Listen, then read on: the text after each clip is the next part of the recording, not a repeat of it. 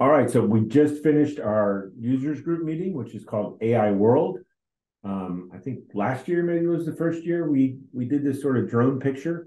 Um, we did it again this year. Um, it was probably my favorite AI World that we've had. I've been, uh, I guess it was my 14th, um, 13th or 14th, and so really, really great event. Um, and this is just a picture in the courtyard uh, where Hector, uh, our support manager, uh, likes a drone and camera. So here's some pictures of what what happened.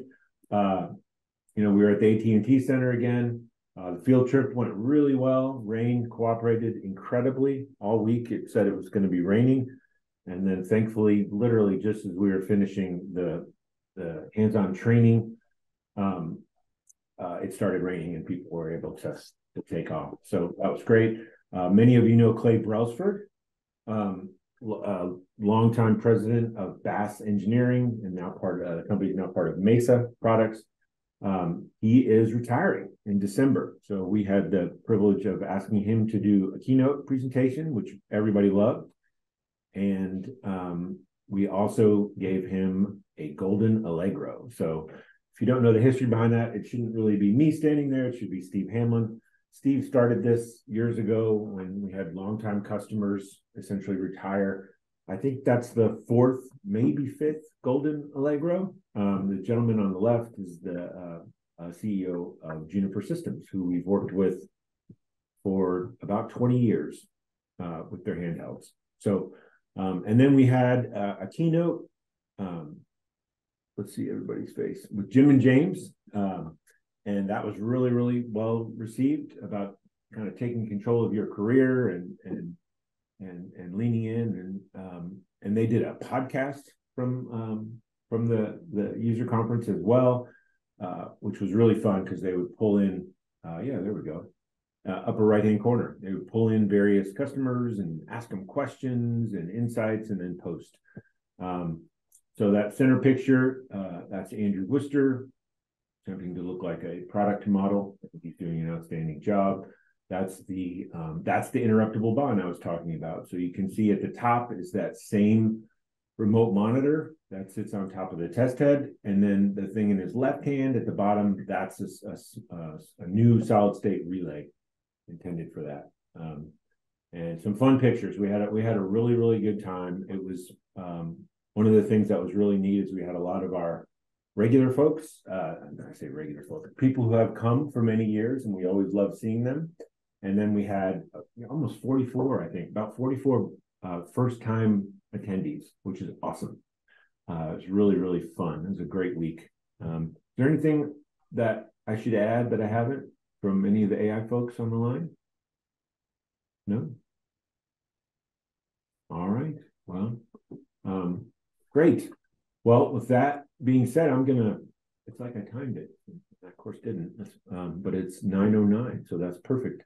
So, Mike, I'm going to hand it over to you. Mike has been with AI, I think, for 25 plus years, maybe, and um, he has been an expert in all things remote monitoring for a very, very long time, and uh, he remains that expert. So, we asked him to come and do a little bit of technical training on setting up uh, Bullhorn Web for your remote monitoring units.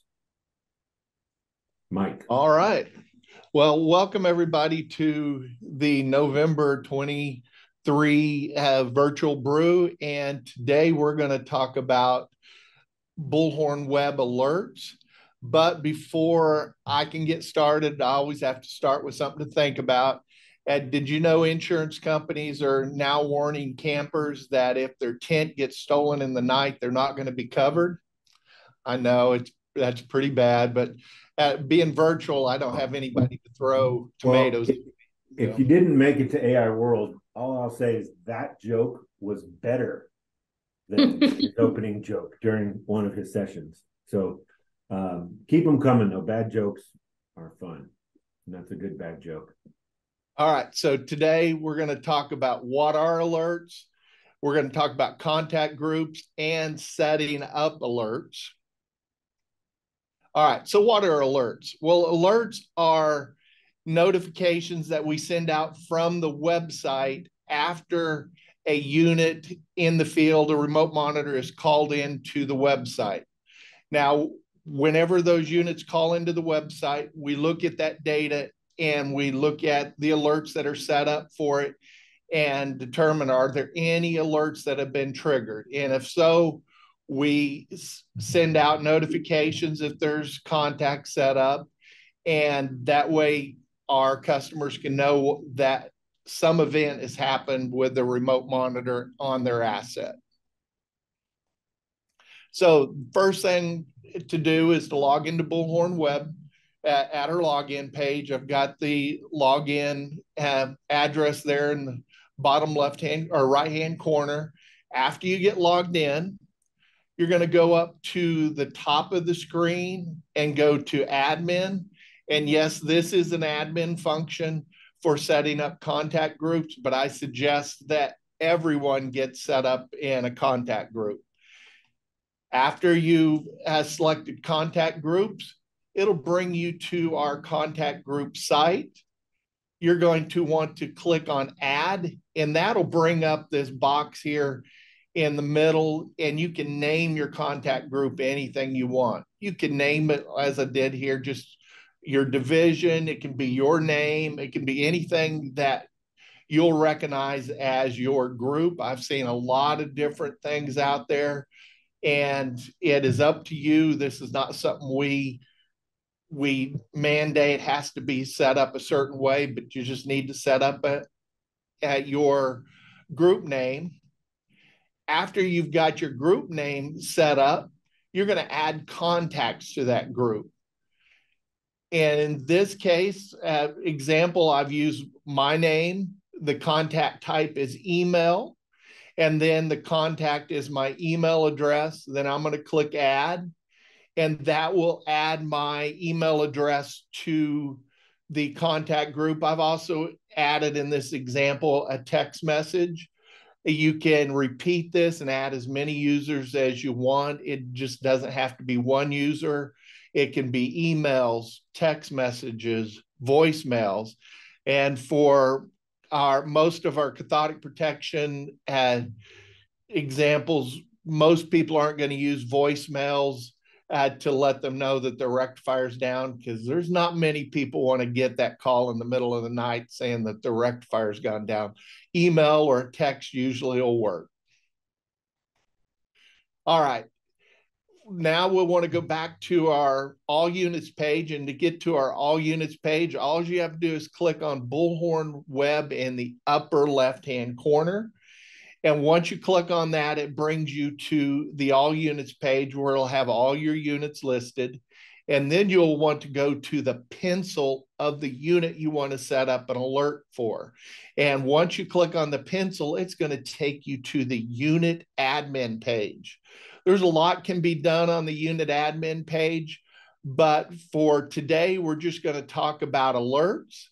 After you click on alerts, it'll bring you to the alert screen. The alert screen is going to have a default alert set up for power fail on almost all of our units. It's not going to have any contact set up, but we'll talk about getting that set up for you in a few minutes. So what we'll want to do first is click on new alert. And that's in the upper right. Once you click on new alerts, you'll get a screen similar to this. And you'll want to set up your alert name. It's good for this example for low amps, it's going to be a data alert.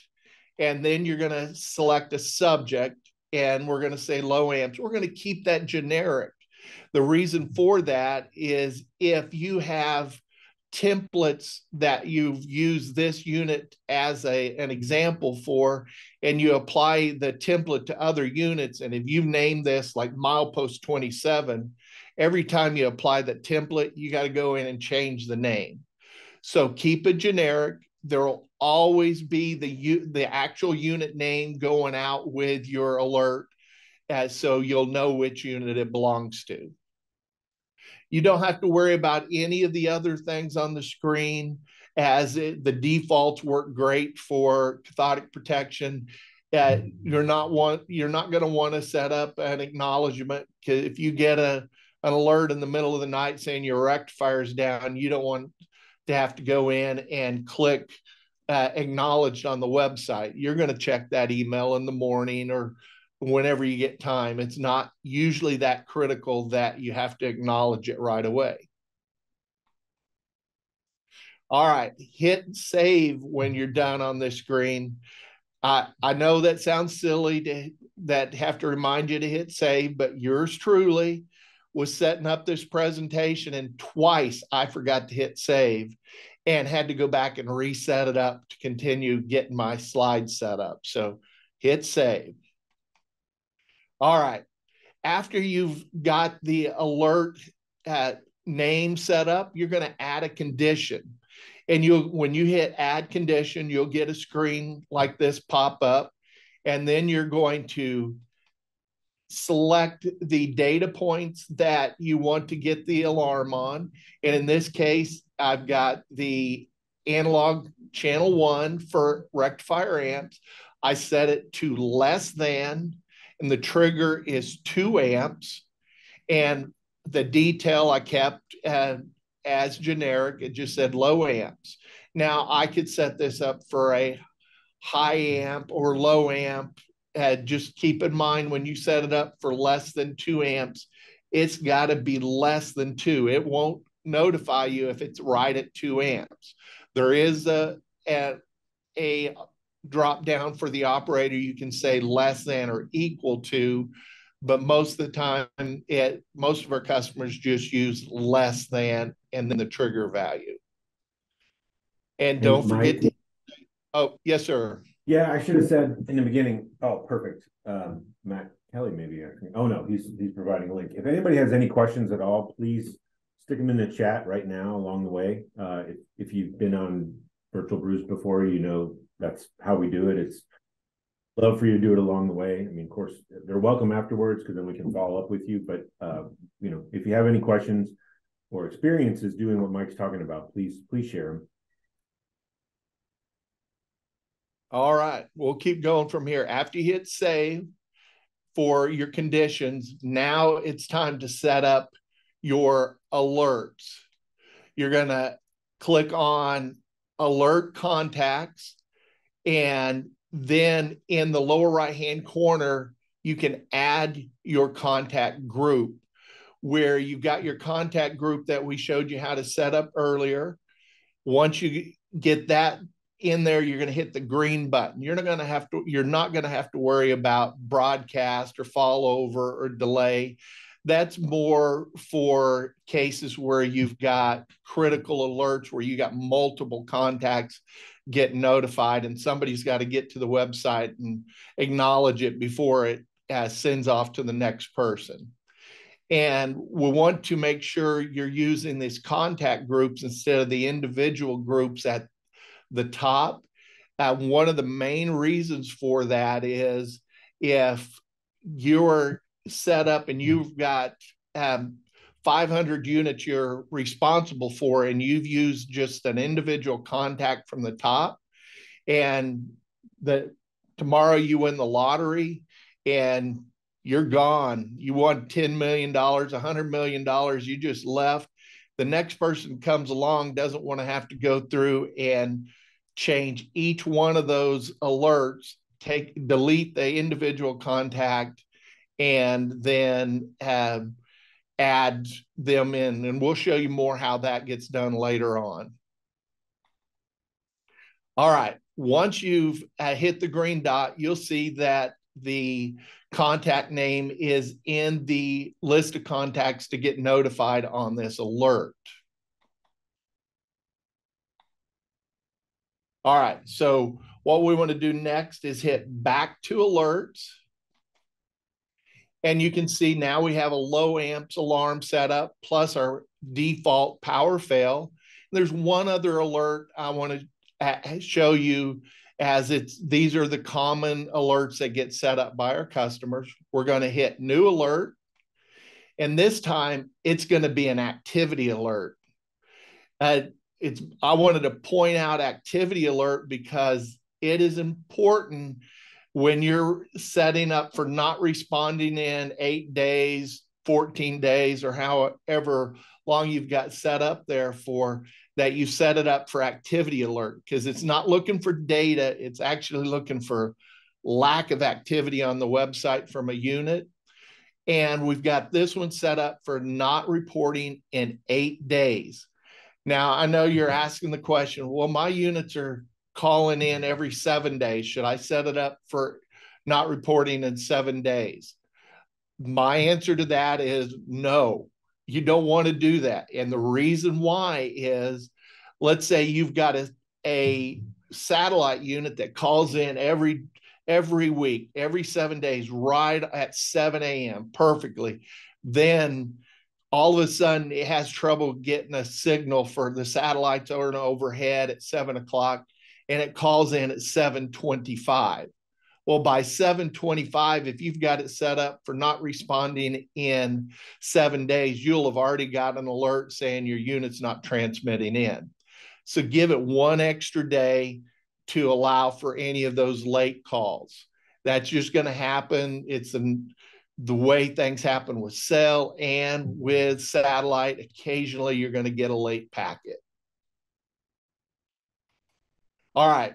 After you've uh, got the, the alert name set up, you're going to hit alert condition. You're going to set less than one packet in eight days. You could also set up a an alert for to notify you if it's over reporting. You can say greater than five packets in two days. And that way you'll know if your units for some reason is going in and out of alarm too often and you need to get out there and see what's going on at your rectifier or whatever your asset may be. And once you've got that set up, don't forget to hit save. All right, now alert contacts. I'm going to show you something a little bit different on alert contacts than we did on the last uh, alert. We're going to click on add all alerts. Then we're going to set up the add contact group. And what this does is it adds this contact group to all of your alerts on this unit, not all the units on your website, just this one unit. So if you forget one of them to add an alert, or a contact group. This will make sure it gets on there. And for that low amps where we've already got this, it's not going to add it twice. It's the website sees, oh, I've already got this contact set up. I'm not going to duplicate it. So you'll only get one contact group in there. All right. So back on our all units page, uh, in the upper left, if you once again, if you click on Bullhorn Web Monitoring, it'll bring you back to this all units page. And what I wanted to show you here is that the amps are highlighted in yellow for this this unit.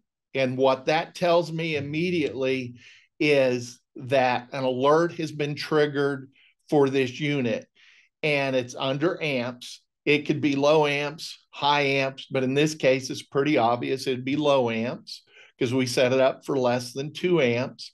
We can also see it's uh, got the red X that tells it that the unit's in alarm, but the yellow highlight tells us what it's an alarm for. And for the last packet uh, date, if that was highlighted, that would mean that the unit was triggered for not reporting in eight days, 14 days. All right, once again, highlighted in yellow is a quick check to tell you why they're not why, but that your unit is an alarm. All right. And I told you earlier, you want to make sure you're using contact groups rather than individual contacts because you can easily delete the contacts out of the group and click on add and add a new contact at any time. And that way your your contact group is following your asset and you can change out um, the contacts it doesn't necessarily have to mean that somebody left the company. It could be somebody who's on on leave for a period of time or just on uh, vacation for a couple of weeks and wants somebody to watch their um, their assets and make sure nothing's going wrong out in the field. All you have to do is just click on add user contacts and that will um, allow you to add as many users as you want.